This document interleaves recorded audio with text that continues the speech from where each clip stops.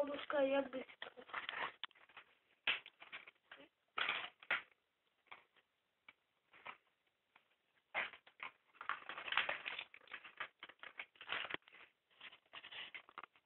Міра, ти мішаєш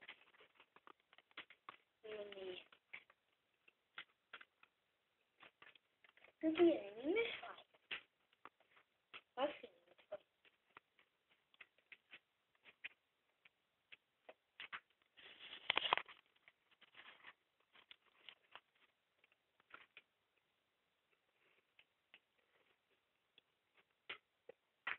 speaking